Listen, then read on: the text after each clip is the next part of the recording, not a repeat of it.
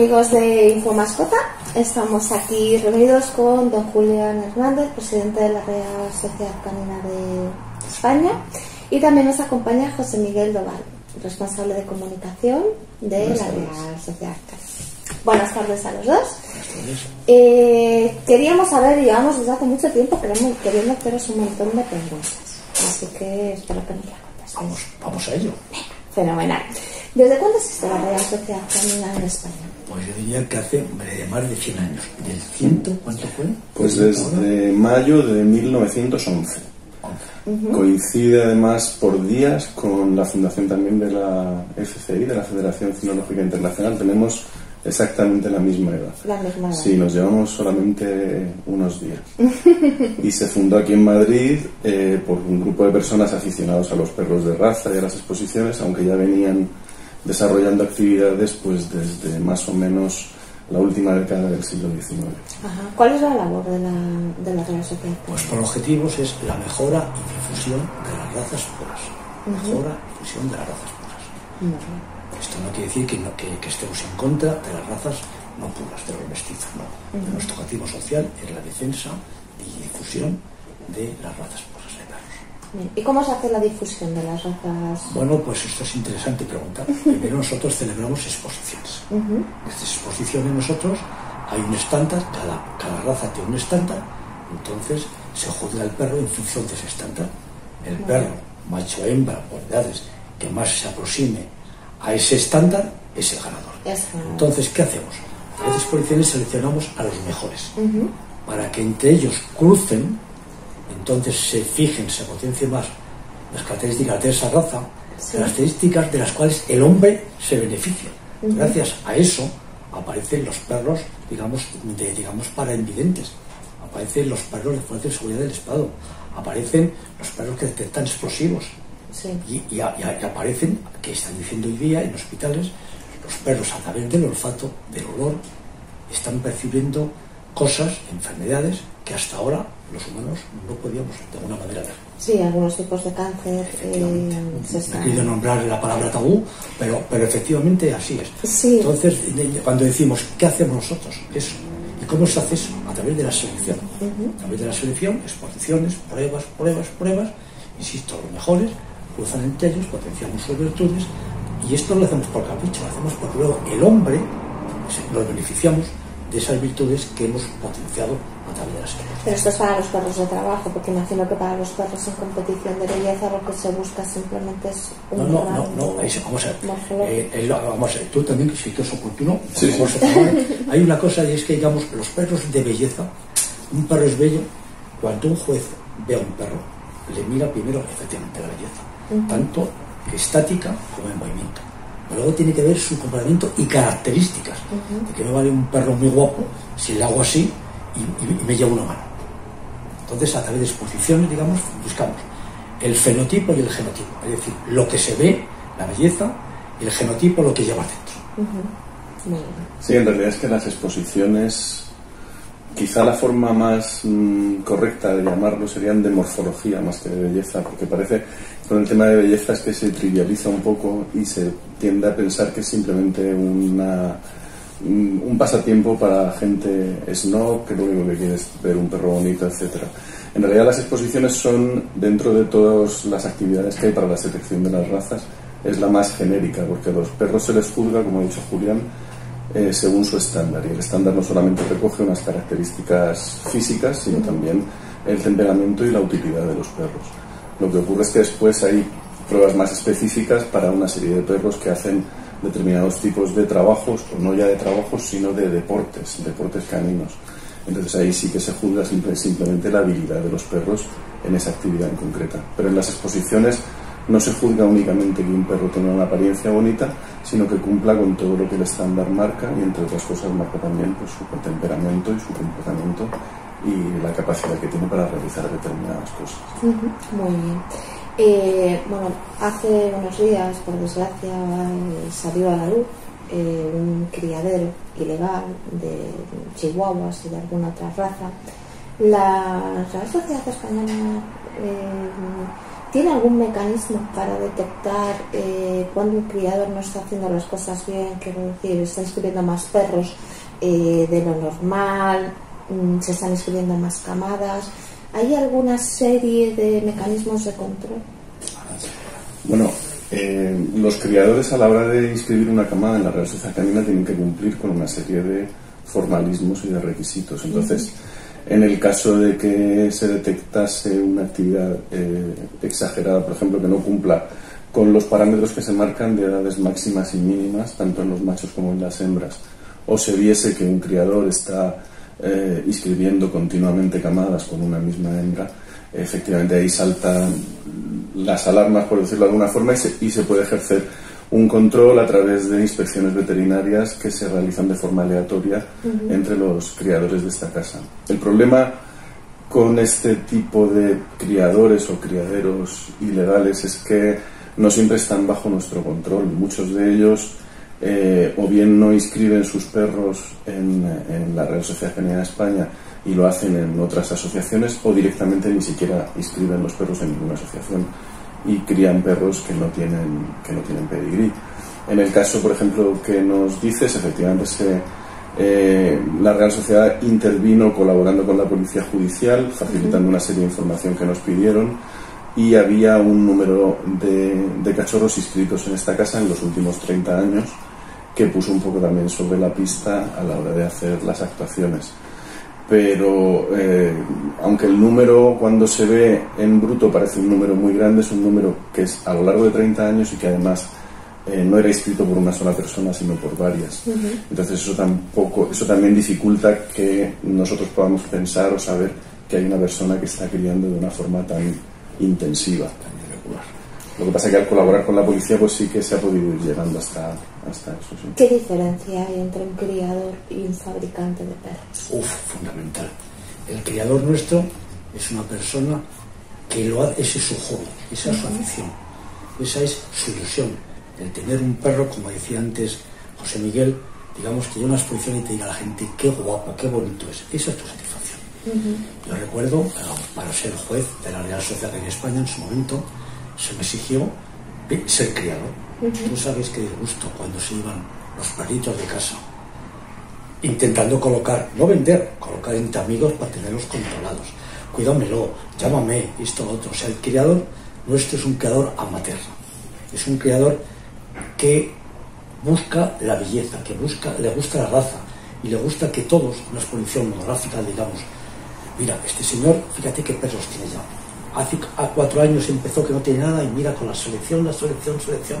Eso es nuestro orgullo. Eso es. O sea, no tenemos nada que ver, digamos, con nuestros señores que son macro criaderos que, no, que van a ganar dinero y no, eh, digamos, a buscar tu hobby, a buscar tu satisfacción a través de ese hobby y que te diga un juez, este perro ha ganado. ¿Tú sabes lo, que es eso? Tienes ahí 100 San Bernardos, por ejemplo, en Italia, y te dice el juez, de por 20.000 pruebas, es, es que, hija mía, es que, es que, no sé, pero se, se te llena tanto el cuerpo de orgullo, de ilusión y ganas de seguir, que alguien reconozca tu labor, lo que tú has hecho, porque ya te digo que es que hay una cosa muy clara, que es que criar perros es muy fácil. Ahora, criar perros conforme al estándar ya no es tan fácil. Eso es un arte que hay que saber hacer. Claro, cuando de alguna manera un juez de una un señor, usted su perro ganado, hija mía, no tengo siempre la satisfacción. Dinero. Yo no puedo entender cómo personas, por ejemplo, venden cachorros, perdón, perros ya adultos, porque han ganado en cantidades astronómicas, pero a ver que están vendiendo un hijo tuyo. Eso es nuestro espíritu. O sea, nosotros bajo un concepto podríamos vender un perro supercampeón que has creado tú, que dé cachorrito, simplemente porque venga un tío de por ahí y te dé no sé cuántos millones de euros. Pero no, ese perro es mío, tampoco vendería un hijo. Nosotros, digamos, que llamamos como siendo nuestros, nuestros perros un miembro más de la familia. Ojalá todo el mundo pensara así. Eh, ese es el espíritu, de, el espíritu que aquí fomentamos y que aquí defendemos. Claro, sí. La diferencia básica estaría simplemente en una preposición, es que el, el criador vive para sus perros y el fabricante de perros, como dices tú, vive de sus perros. Ahí estaría una que puede ser que haya gente que haga esta labor de manera profesional y, viva de criar perros o de tener perros de una forma completamente lícita, pero normalmente el que tú dices calificar muy acertadamente como fabricante de perros, la diferencia además suele ser que no que simplemente lo que le importan los animales es como un animal de producción y no tiene Ciertamente es así. ninguna otra preocupación. La verdad que un fabricante de perros es lo único que, que, que miran. Eh, ¿Cuál es la postura de la Real Sociedad Canina frente a los perros potencialmente peligrosos? Porque... Oye, me, me alegra mucho tanto nos agrada a nosotros saber esta pregunta. Nosotros desde siempre hemos defendido que no hay razas potencialmente peligrosas. Hay propietarios de esas razas potencialmente peligrosas. Pongo un ejemplo. Yo tengo un sombrero de la raza que me gusta y es la que crío. Es un perro de ayuda al hombre. Entonces, difícilmente un perro Bernardo por naturaleza, por su instinto, irá contra hombre, no puede ir contra él. Bueno, si tú le adiestras, le adiestras, le adiestras, le adiestras, al final no te va a pegar un, un, un mordisco como otra raza, pero sí te va a intentar, de alguna manera, coaccionarte. Uh -huh. De alguna manera, pero, insisto, el, el eh, no es la raza la responsable de esa característica, soy yo que se las he inculcado a ese perro. Uh -huh. Insisto, no hay razas potencialmente peligrosas, sino propietarios potencialmente peligrosos. Esto es una postura que la canina viene manejando en los últimos tiempos. Hemos defendido, desde que nació esta ley, hemos defendido. De hecho, digamos, no estamos de acuerdo con ello. Nos ha llegado ya ciertos rumores, quizá José Miguel sabe más que yo, de que se está, digamos, preparando ciertos actos en defensa de que eso que en su momento nació como salió, porque eh, hubo una serie de mordidas en su momento, no se olvida jamás, incluso uno de ellas a una persona artista de cierta fama, a su hijo, Sí, eso fue lo que todo lo, no me gusta decir eso, nombre. todo lo que- eso fue To- todo lo- eso lo como- condicionó como empezó. y para allá.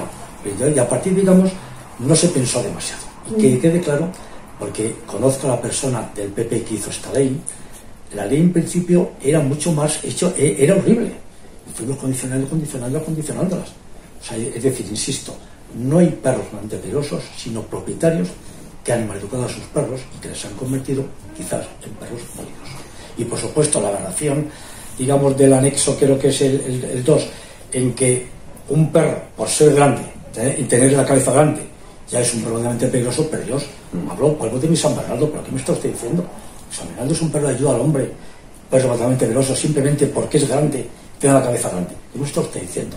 Solo y es que se hace en un momento de apuro para contentar a una parte de la sociedad que en ese momento estaba un poco agitada con esto, y salió esa ley, pero insisto, que me conste, y quizás José Miguel tiene más conocimiento de ello, que se está preparando una movida con nuestro apoyo, por supuesto, nuestro apoyo, digamos, con sentido común, no protestar o protestar, y diciendo, señores, esto hay que revisarlo, porque no es así.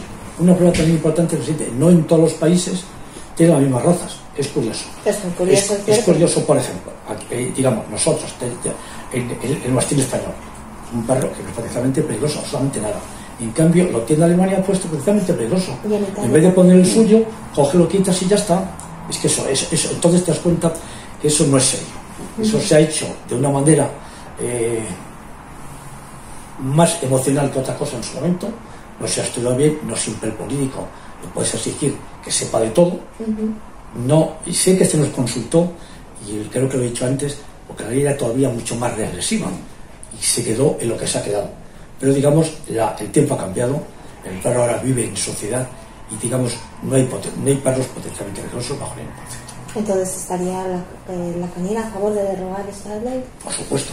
Claro, a ver, eh, la canina de siempre, desde el principio, y además hay, hay documentos que así lo recogen, ha mantenido que no existen las razas potencialmente peligrosas, como hemos dicho, sino individuos, comportamientos y sobre todo que suele venir eh, independientemente de las características de cada raza que los hacen más propensos para unas cosas u otras o más proclives a tener unas actitudes u otras, individuos que las utilizan mal y que las, y que las llevan a, a este tipo de actitudes. Eso la canina lo ha mantenido desde el principio. De hecho, contra lo que se suele utilizar muchas veces, sobre todo últimamente en redes sociales y todo eso, acerca del papel que desempeñó la canina en su momento cuando salió esta ley, que fue con una directiva diferente a la que hay ahora, pero, pero aún así eh, lo que se hizo entonces fue dar una labor de asesoramiento y, como ha dicho Julián, incluso contribuir a que esa ley no fuera tan restrictiva como estaba prevista. Desgraciadamente en todo nuestro entorno, en toda Europa y en todos los países existen este tipo de legislaciones y en todas siempre hay listados de razas. En esos listados de razas hay una serie de razas que por unas cosas o por otras son coincidentes, están prácticamente en todas, pero después hay incongruencias como las que ha dicho. Eh, según qué país se suele intentar quitar las razas nacionales para no hacer un daño a la raza local, pero se meten razas de otros países que incluso prácticamente ni existen. Aquí, por ejemplo, en algunas listas de algunas eh, comunidades autónomas está el tosaíno, que es una raza que prácticamente no existe como raza en España. Entonces, lo que nosotros queremos es concienciar a los políticos de que la legislación tiene que ir encaminada a fomentar el buen manejo y la educación de los perros independientemente de su raza y también a que todos los propietarios sean responsables en todo momento de lo que sus perros hacen, pero sin tener que estigmatizar a ninguna raza eh, frente a las otras, mm, provocando pues situaciones que al final lo único que hacen es que los perros de estas razas no puedan tampoco llevar una vida normal y una vida en sociedad y, los estamos condenando sin que hayan hecho nada para ello. Con lo cual imagino que desde la canina hay eh, acciones de sensibilización frente, a este, frente a estos eh, temas. ¿no? Por supuesto, por supuesto, pero además queremos, como bien decías Miguel, queremos llamar la atención a nuestros políticos que esto no puede seguir así. O sea, que tenemos que reunirnos con ellos. Y aquí nos ofrecemos ya para esa reunión, señores, si somos expertos en razas caninas. Por favor, consulte usted con nosotros. No hay nadie mejor. Conozca las características de cada raza. Le podemos asesorar. Un veterinario, pues es un veterinario que sabe, entiéndeme, pues de, de, de, veterinaria, pero no sabe de características de cada raza. Ahí estamos nosotros y ya desde ya nos ofrecemos para cualquier eh, consulta de reunión que queramos, que quieran, pues estaremos ahí para defender cada raza. Y si hay que alguna raza decir, señores, esto es así, así, así y así, escúchenos, por favor. No hagan lo que un político le pilla en un momento en que tiene un poco subido eh, el ánimo. Sí, además que desde esta casa se hace mucho trabajo todos los días. Eh, hay un trabajo que es más vistoso, que la gente ve muy fácil, que puede ser el de las actividades que realizamos, exposiciones, competiciones, etcétera. Pero después hay un trabajo que no se ve, que es ese trabajo de eh, dirigirse a los estamentos políticos, a las autoridades, de hacer la presión que, que, que, nos podemos permitir hacer e ir intentando que nuestros postulados vayan llegando hasta donde tienen que llegar. Ese trabajo lo que pasa es que no es un trabajo público, no es un trabajo que se pueda estar permanentemente hablando de él, porque siempre hay que ser discreto en todo este tipo de cosas. Pero desde luego lo que no le puede quedar, caber duda a la gente es que desde esta casa se trabaja por el bien de los perros todos los días. Pues esperemos que nos vean algunos políticos para que esto cambie. esperemos, que sí, que este llamamiento llegue. Además, mm, lo cierto es que, aunque a veces la gente eh, ante determinados cambios puede asustarse o estar un poco eh, a la expectativa de lo que puede pasar, lo cierto es que nosotros vemos como una oportunidad que el hecho de tener ahora un gobierno a nivel nacional que esgrime la bandera del, en, en algunos casos esgrime la bandera del animalismo y de los derechos de los animales, como la dirección general que se ha creado, nosotros pensamos que en el tema, por ejemplo, este de las razas potencialmente peligrosas, eh, nada más lejos del, derecho de los animales que la situación que viven ahora. Entonces, creemos que se debe intentar cambiar esa legislación por una más acorde con lo que es la realidad. Nuevos cachorros en esta casa, que son unos 60.000, todos ellos están identificados con microchip, porque si no, no podrían recibir su número de pedigrí. Entonces, lo que hay que concienciar a la gente es para que identifique, para que cuide bien a sus perros, para que no cruce aleatoriamente y solamente se hagan camadas cuando son con un propósito de mejora y de una forma responsable y pensando en que esos perros tienen que tener unos propietarios de por vida y que también se eh, endurezcan las penas contra las personas que realicen este tipo de acciones. Claro, que haya una tendencia responsable, que haya una ley que se aplique en, sí, sí, sí, en esta tendencia responsable. Los interesados en eso somos nosotros. Claro. ¿Y la RSC lleva algún cabo, a cabo, lo he preguntado antes, algún tipo de sensibilización tanto de perros de raza como perros sin raza para evitar el tema del abandono, que es algo muy Sí, sí, por ejemplo en el tema de la tenencia responsable y, y el evitar el abandono, lo que nosotros, mm, para simplificar, llamamos llegar a una situación de abandono cero. Eh, las campañas que hacemos no aluden directamente a ningún tipo de raza, porque lo que queremos es que no haya perros abandonados. Mm. Pues nada, os damos las gracias desde infomascota.com a ti, Julián, y a ti pues, por atendernos tan amablemente. Eh, muchísimas gracias, José Miguel, y, nada, que esperemos que el Logo Show sea todo un éxito. Ha sido un placer y me va a permitir que dado que has dicho que tú antes eras perrera, tenedora y ahora es de gatos, vente para acá otra vez, hombre, no nos lo tendré en cuenta, lo tendré en cuenta. Sí, sí, sí, sí, me encantan los perros, la verdad. Y a vuestros lectores y eso, pues que les esperamos a todos en IFEMA del 23 al 26 de abril, que van a poder disfrutar con los mejores perros del mundo. Sí, eso va a ser, la verdad, increíble. Pues muchísimas gracias a, a ti.